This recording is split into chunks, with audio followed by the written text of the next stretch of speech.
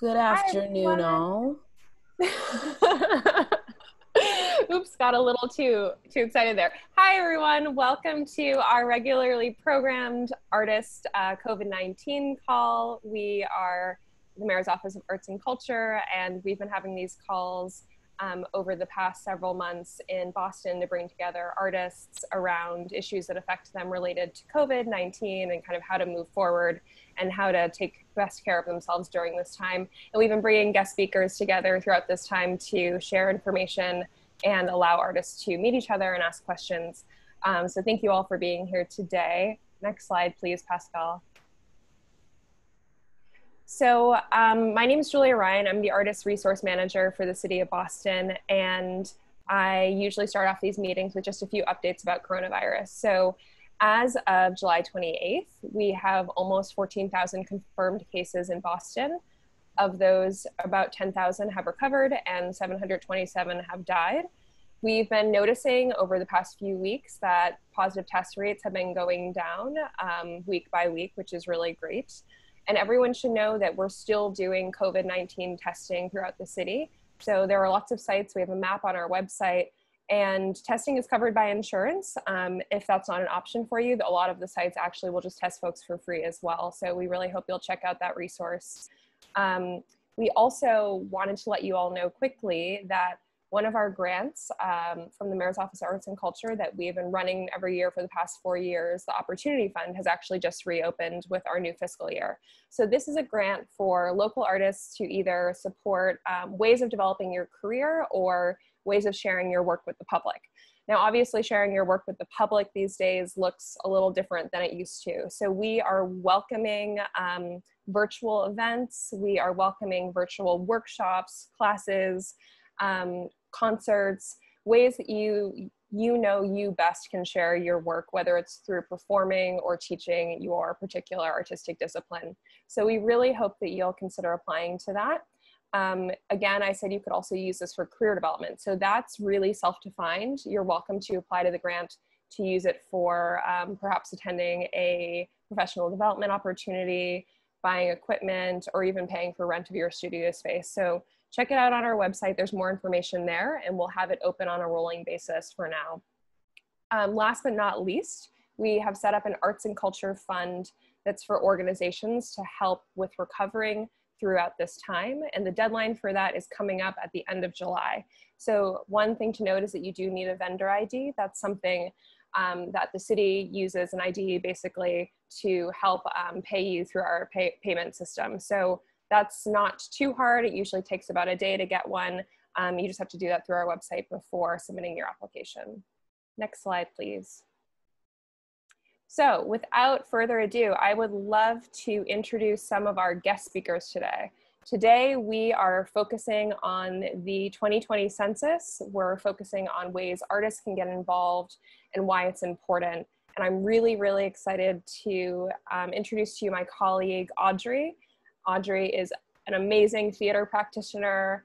Um, Audrey is also the community engagement director at um, Front Porch Arts Collective, and she's going to kick us off today with introducing some of our other speakers and also just more information about the census and how you can get involved this year.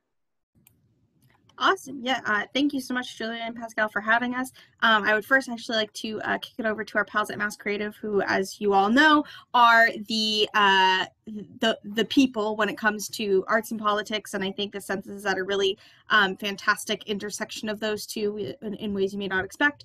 Um, so it's actually uh, they're doing some census advocacy as part of their Create the Vote campaign. Um, so I'll throw it over to uh, Executive Director Emily Ruddock and uh, Simone Lewis from also from Mass Creative. Thanks, Audrey. Hello, all. Um, yes, we are delighted to live at the intersection between policy and arts and culture um, as one of a couple of statewide arts and cultural advocacy organizations. And, you know, we spent a lot of time thinking about how we how we would engage in the 2020 elections um, cycle and um, thinking about the role that the creative community plays in take in building community cohesion and taking care of our communities. We do it every time we invite patrons into our theater spaces, every time we engage and, and do community art projects in a neighborhood.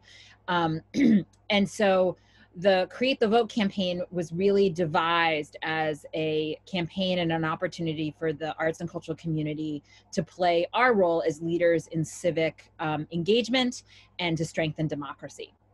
And so I'm going to turn it over to Simone, who's going to talk a little bit more about Create the Vote and why we're talking about Create the Vote when we're talking about the census.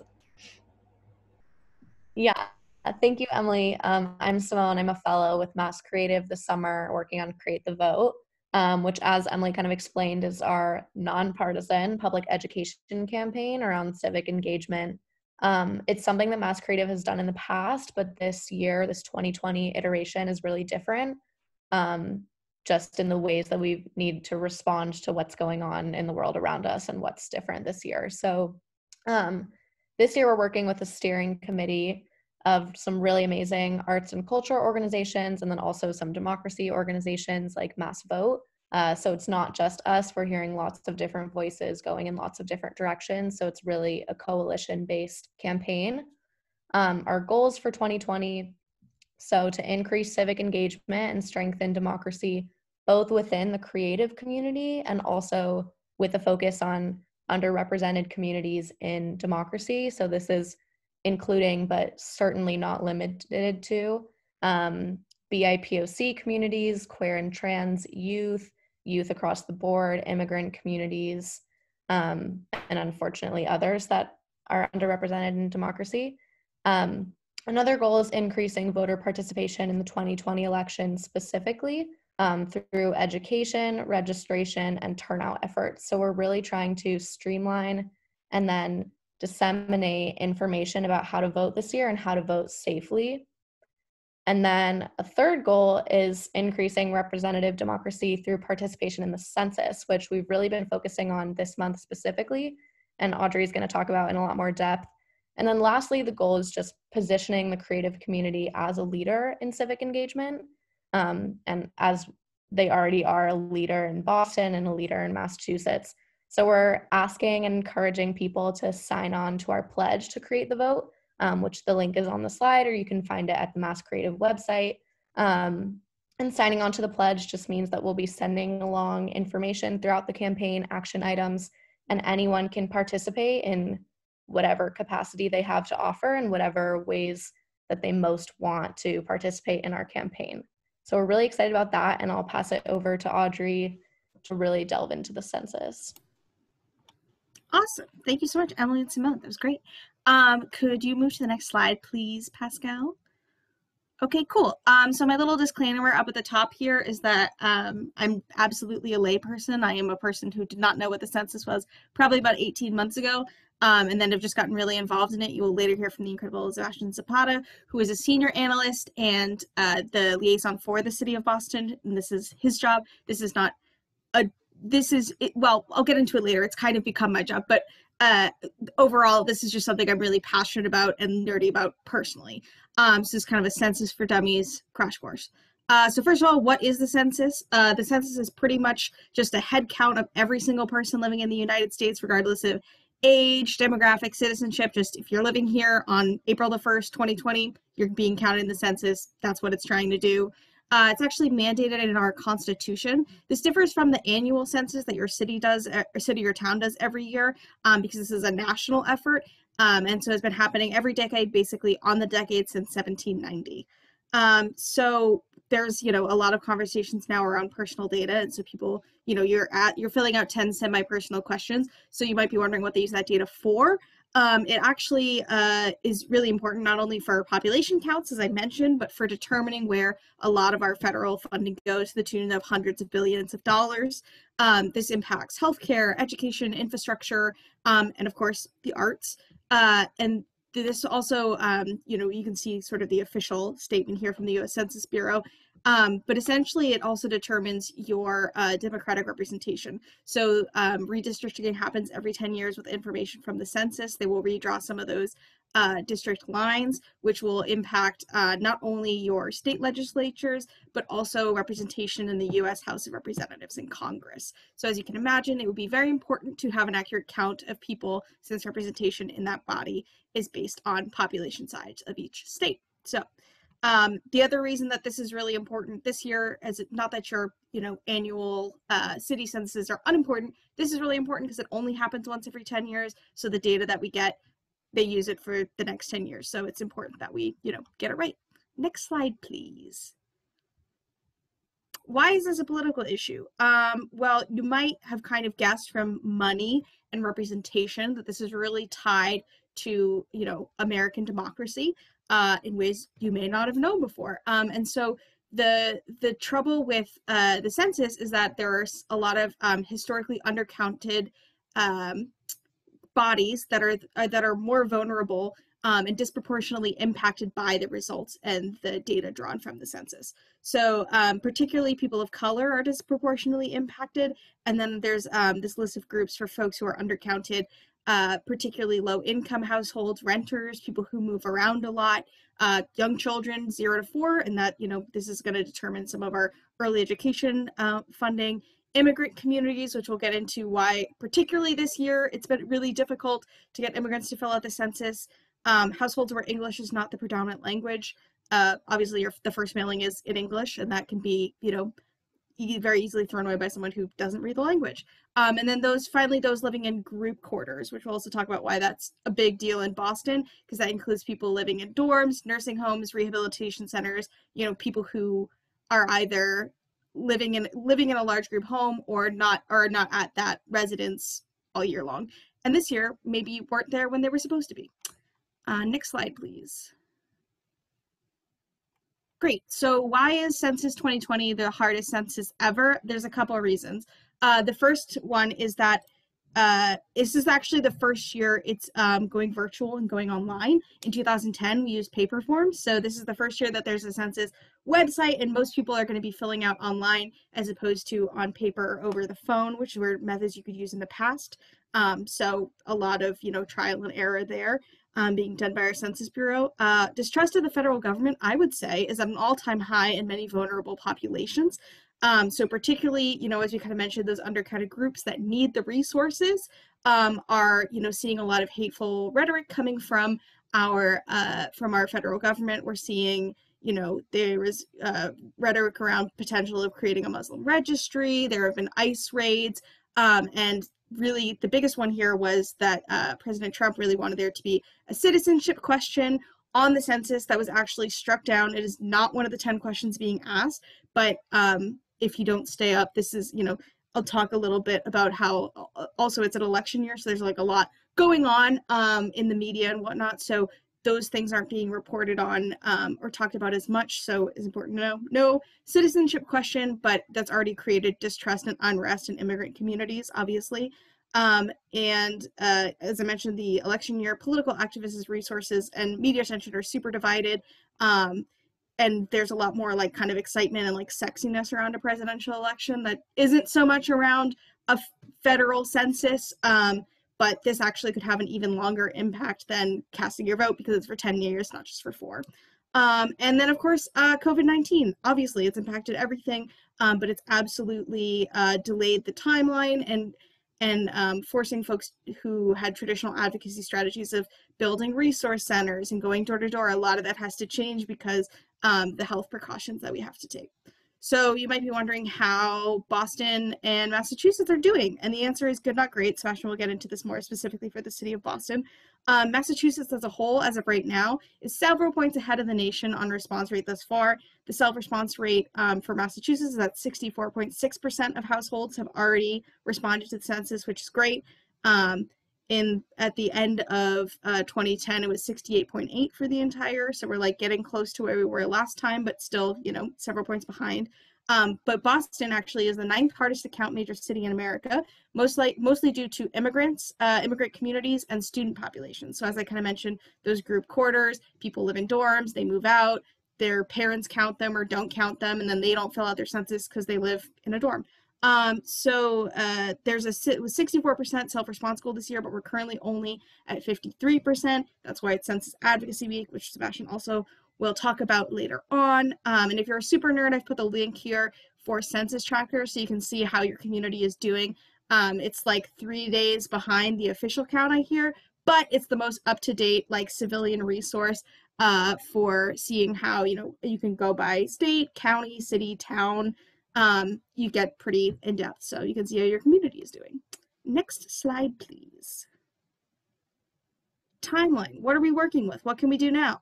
Um, so there's been a huge shift and extension on the timeline for the census, which is a good thing. Um, but the dates that were presented in early advocacy, uh, Mass Creative and Arts Boston, I worked there with a uh, presentation pre-COVID times with lots of dates and advocacy in February, and a lot of those dates are no longer accurate um, if you attended that.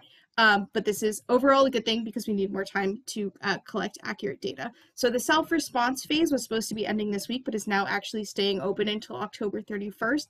This is where we get the best quality data because, you know, as we talk about with identity and stuff, it's best to self-identify and self-fill out that form. Um, so you should encourage your friends to self-respond and self-respond if you haven't already. Um, census offices are actually reopened already and working now, and they're currently focusing on group quarters, uh, which were previously inaccessible due to quarantine. Um, soon we'll be moving into non-response follow-up, which is, you know, where you might have seen videos of census workers going door to door, knocking, asking questions. It's kind of similar to canvassing. They use a similar app. Um, and so that period is going to take place August 11th to October 31st. Um, sometime in September, they will be doing, you know, transitory populations, trailer parks, um, homeless folks. Um, if you've participated in the homeless census with uh, in in Boston, that's essentially the same thing, but a three-day nationwide effort. Um, and the biggest change, I think, actually here is the presentation of the data, which will happen in at the end of April 2021. Previously, it was due at the end of December 2020. So going back to create the vote and elections and you know nonpartisan voting and things there is a great there is a chance that if you know depending on who you're stumping for uh we might have a different president that is presented with and chooses you know chooses to analyze uh that data. So that's something that is completely different now because of covid. Um next slide please Great. Uh, so this is actually um, some slides about how to fill out the census. Um, it's uh, Sebastian uh, put these awesome photos of exactly what the website looks like, where you click, um, you know, if you have a questionnaire, everyone was mailed a questionnaire in March, um, but obviously it's been many months. So if you don't have that, you know, letter anymore, there's still ways to fill out the census. Um, I didn't know if there was anything you wanted to add in here, uh, Sebastian, re filling out the census. Yeah, um, just just real quick. So again, uh, for a lot of people, they're going to be asked to put in their 12-digit census ID, which you technically do not need to respond to the census. It's just that unfortunately, once people go online to try to respond, they're hit with that question and are, oh man, I misplaced that, or I lost it, or I recycled it because it was so many months ago that I received it. So they kind of stare at that page and go, huh, all right, well, I tried, and they don't actually complete their census. So that's why we want to just highlight for people, you know, again, it's really just a two click process. You hit start questionnaire and then you say, if I don't have my census ID, you click the link that says, if you do not have your census ID, click here. So that's all you have to do. You input your address from there and you start filling out the census form as if you were to have that ID. But again, you technically don't need it to respond either online or over the phone. And the nice thing about responding either online or over the phone is that you can do it in 13 different languages. Um, so right now you only see the interface, but if you go to the next slide, you'll see all the 13 different languages that you can actually respond to the census in, as well as the hotlines associated with each language line. So if you want to call in one of these lines and respond that way, for example, if you're a non-native English speaker, you can call in in 12 languages that are not English. Um, but if you wanted to do it online, you can also do it in one of these 13 languages. There's a globe icon near the top right of the web page that you just click on and you click on whatever language it is that is available one of these 13. Awesome. Thank you. Yeah. So I didn't know that about all different being in different languages on the website. That's awesome. So um, yeah, as you can see, federal and state governments doing a lot to try to uh, get an accurate count. Uh, could you go to the next slide, please, Pascal? Awesome. So how can I help as an artist? Uh, number one would be fill out the census. We just went over that. Uh, it's you know very easy. It takes about 10 minutes. It's 10 questions. Um, and once you fill it out, you'll be like, wow, that was so easy. And then you can tell other people about how incredibly easy and awesome it is to fill out the census. Uh, there's you can be what uh, what the census advocates call a trusted messenger for your community. These are people you know that you know that are in your social circles. They're going to respond more to what you're saying versus um, somebody off the street or someone from the government calling saying, "Hey, fill out your census." Um, so just remember to meet people where they at. Can you can connect their interests to the census pretty easily. If they care about healthcare, if they care about roads, if they care about the arts, all these things need require federal funding. Um, so you know, tell them that their participation in the census make sure it's that uh, equitable funding is given in all those different areas and and just remember you know as i mentioned straightforward easy and super confidential you can go to federal prison for 10 years for re- revealing census data it's very very serious protecting the constitution so even though it might feel kind of strange to tell the federal government where you live who lives with you what your gender is um, it's important to note that uh, that information is confidential and cannot be breached for something like 63 years or something like that. Um, create oh you can also create art for the census. So this is a resource um, mass creative friends i don't know if you want to talk a little bit more about it uh, since it's specifically uh, it's called creatives for the count. The website link is there. This is smart yeah so thank you audrey um, i and sebastian full confession, I went on the link to fill out my census and was like, oh, I don't know what my digit code is. And then I clicked the link and very quickly filled out the census for my household. So I am um, I am a testament to that it can be done. Um, you know, I think I think the thing I wanted to just mention here is that um, artists play an important role in lifting up the issues that matter most in our society and I we've seen that really clearly across the nation and then specifically in Boston in the last several months around the issues of racial injustice. And um, there's beautiful moving art, and I would argue that some of the most compelling advocacy happens through art. Uh, and this is no different. This is a political issue, um, and it is one where all of our voices matter, and um, if you are thinking about how to engage in work that will make a difference in your community, this is one of the ways to think about doing that. So, um, a group called Creatives for the Count created this website. In it, you will find a delightful tool toolbox about how, if you want to host host a census creation party, you can. There's also um, they have a showcase and the image that you're seeing right here is from their website of work that artists have created um, a lot of social media digital work created to promote the census and encourage um, others to take the census. And so we wanted to point you to that direction.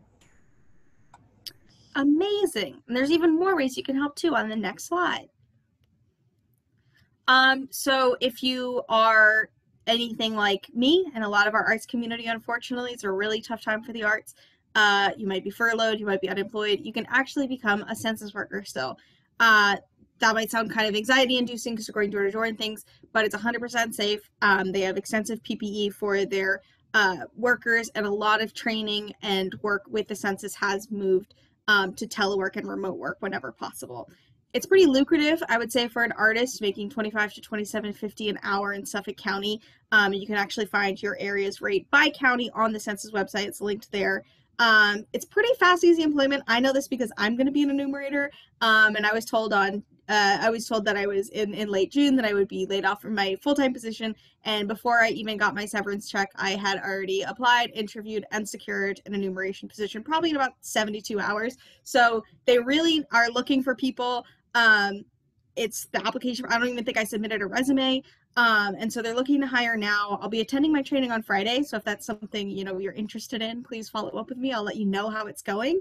Um, pretty exciting, I guess. I had to go get fingerprinted, but that's really the only in-person thing I've done so far. And they'll do this social distance training with like three people.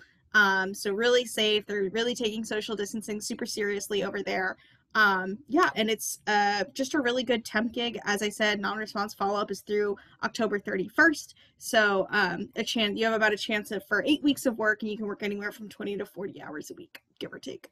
Um and also you can if if that's not your style you can also volunteer. Um so mass counts uh which is a our, our state census advocacy agency group if you will uh, has um, Tuesdays and Thursdays phone banking. You see the dates and times there.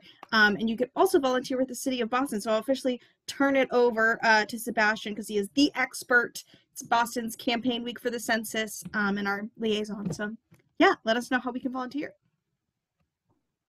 Uh, thanks, Audrey. Thanks, Julie, for having me on. Thanks for everyone that's on this call today. Um, so my name is Sebastian Zapata. I'm charged with overseeing all of our operations around trying to get the most accurate and inclusive count possible regarding the US 2020 census. Um, and so I know Audrey just went over a lot of amazing details. So thanks for doing that and having to, you know, me, I get to save some breath for once, which is nice. So I appreciate that.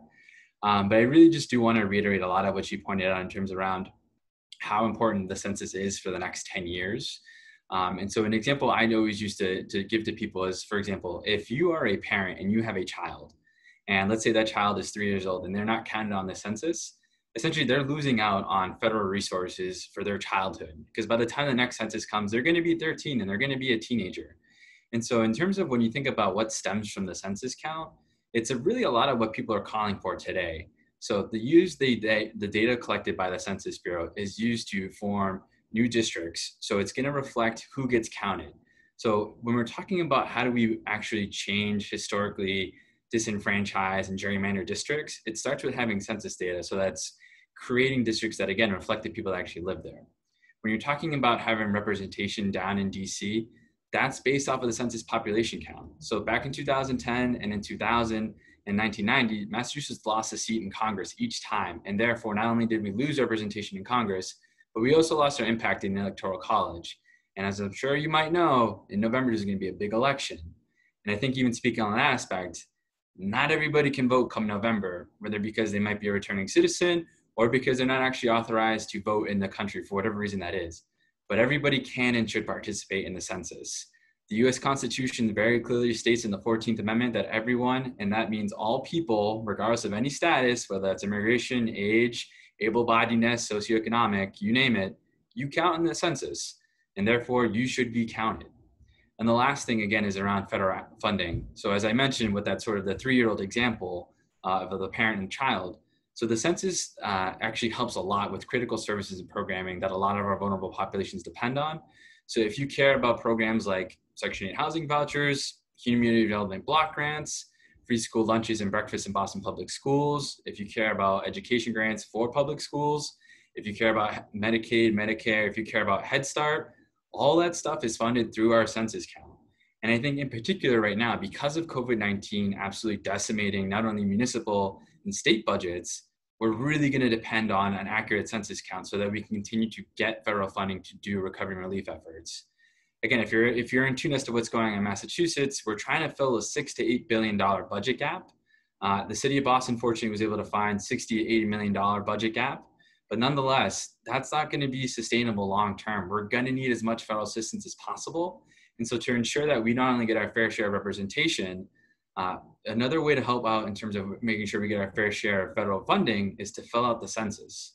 And so at the City Hall, uh, we've been charged with trying to think about how do we pivot from doing engagement strategies that we had planned to really try to meet people where they're at, sort of that one on one interaction, going to community centers, going to large community events, going to neighborhood association meetings.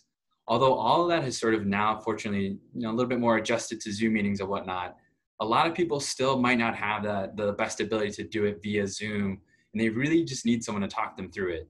And so what we've been doing is very similar to mass counts, is trying to do phone banking as much as possible. Uh, and in particular, our, our, we've been looking at it through an equity perspective. So even though 53% of city of city of Boston has responded, we're seeing large disparities across that. So for example, in an area like West Roxbury or JP, which tend to skew older, white, homeowner, higher educational attainment, higher socio- socioeconomic status, they're doing really well when it comes to responding to the census.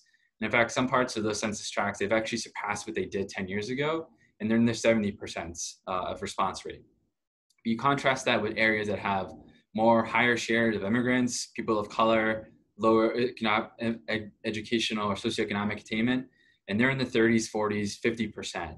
And so we're really trying to call through areas in Roxbury, Dorchester, East Boston. So if you want to help out two hours a day, an hour a day, whatever it is that you can give, please do reach out to me and I'm happy to plug you in. We'll provide any training. Um, and I know that Audrey herself is going to be out there going door knocking, and that's going to be starting August 11th. So I really want to enforce to people that for whatever reason that is that you don't want to get a door knock come August 11th from the Census Bureau, It might be because you're in a mixed status household and for some reason you're afraid that there's technically a federal employee knocking on your door, even though it has nothing to do with Homeland Security, it has nothing to do with ICE. The best way to avoid that is to fill out your census either online or over the phone. If you don't want someone knocking on your door because you're still afraid of public health concerns, because COVID 19 is still very much a real thing, best way to avoid that door knock is fill out your census form either online or over the phone. If you don't want a door knock because you don't want to pause Netflix, fill out your census form online or over the phone. And so, even though August 11th is a date that I'm really trying to push people to respond by, the last day again is October 31st. So, even though we're at 53% and we're about 11 points away from what we did 10 years ago, there's still time to try to turn that curve around and buck the trend essentially. And so that's why we really try to form as many partnerships as possible and try to use these trusted messengers, as Aubrey had mentioned, to reinforce to people why it's safe. Again, that's Title 13, which is a law that says that your information cannot be shared until 72 years have passed. Your personal information will never be shared with your landlord, ICE, Homeland Security, the mayor, the president. No one will see your individual responses until 72 years have passed. At the end of the day, all that data that's collected is again just used for statistical analysis to create redistricting, create reapportionment, and to create federal funding avenues. And so if you care about any of those things and you're looking for something to do that's an immediate impact, all you have to do is fill out your census. It's 10 questions and 10 minutes to shape the next 10 years of our communities. I think there's one more slide, but that pretty much covers it. Yes. Oh, that brings me to our, our, our, last slide that I have is just really this whole week has been a big census week of action.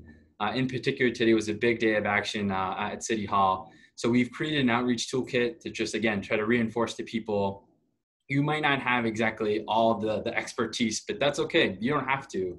You're going to find within that toolkit a lot of good messaging, some sample social media text and graphics, some flyers, some PSA videos um, to really just amplify the fact of how it is that you want to participate and why it is that you should participate in the census. Um, because at the end of the day, again, like you count, be represented, be protected, uh, be counted. Um, and so that's sort of just a screenshot I took from one of the flyers we have on that toolkit. But it really speaks volumes to what I've been saying so far and what Audrey had already mentioned before.